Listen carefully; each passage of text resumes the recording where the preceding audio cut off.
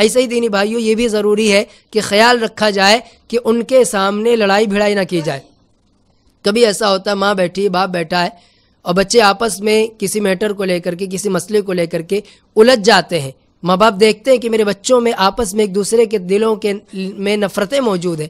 ماں باپ دیکھتے ہیں کہ میرے بچوں میں آپس میں ایک دوسرے کے تئیں کوئی محبت نہیں ہے، کوئی رحم دلی نہیں ہے۔ اس سے ان کے جذبات کو ٹھیس پہنچتی ہے۔ ہر ماں باپ یہی چاہتا ہے کہ اس کے بچے مل جل کر رہیں۔ ٹھیک ہے، کسی وجہ سے اگر آپس میں نہیں بنتی اور علیحدہ کاروبار کرنا چاہتے ہیں، علیحدہ کمرے میں، علیحدہ گھر میں رہنا چاہتے ہیں، رہیں۔ اگر یہ چیز ناگزیر ہو جائے تو۔ لیکن یہ کہ آپ اپنے ماں باپ کو یہ میسج دیں، یہ پیغام دیں کہ ہمارے دلوں میں کوئی نفرتیں نہیں ہیں۔